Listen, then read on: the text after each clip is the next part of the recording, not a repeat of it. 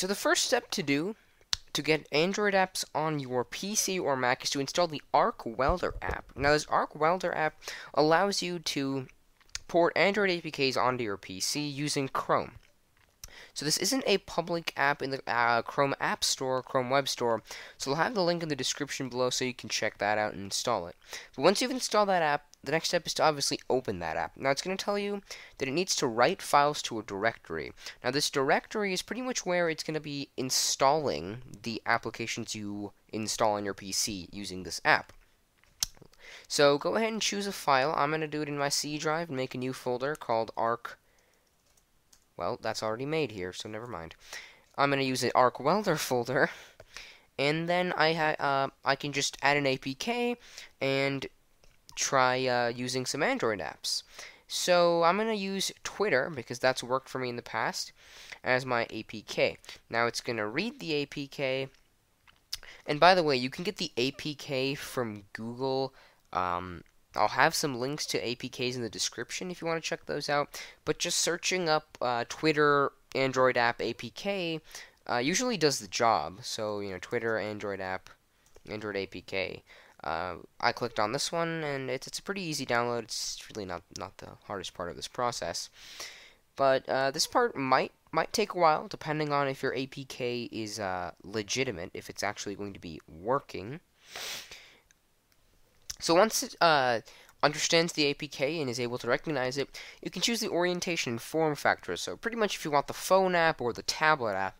Now considering Twitter isn't really tablet optimized, I'm going to go with phone app, and then I'm going to click launch app to hopefully launch the Twitter app and begin using it. Now, this is iffy. It's worked for me in the past many times, but on some days the Google servers for this, just the APK, just the way Chrome works, is down. And today happens to be one of those days. So this app is going to show that it's coming, but it's not going to come. It's not going to actually load because Arc Welder is down. Now, yesterday it was working, and tomorrow it will probably work. So it really just comes down to, you know, this is very beta software, as you can see there. They don't want you to, they don't want the average consumer to have access to Android apps on their computer yet. It's very beta pre-release software, so it's not working 100% of the time, but I'd say 50% of the time it does work. So if you can find an APK on the internet, which isn't that hard, you can very quickly get the Twitter app on your PC. Now that you can do this for really any Android app that you can find the uh, APK to, um, it's just not working today. Today's just not, you know, my day. But um, I've gotten it to work in the past. Uh, it's been a very fun thing to do. It's it, it works nicely when it actually works. So if you have any questions, leave them in the description below. I know this was sort of a difficult tutorial to follow. I'll have links to Arc Welder and some common APKs in the description below. Uh, if you need any help, just ask.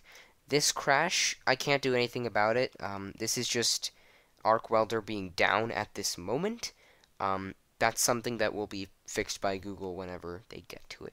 So that's pretty much it for this video, guys. I hope you enjoyed. Hope you can open some Android apps on your PC. And uh, that's pretty much it for this video, guys. I hope you enjoyed, learned. If you have any questions, again, leave them in the comment section. I will get to them. Thanks for watching, guys.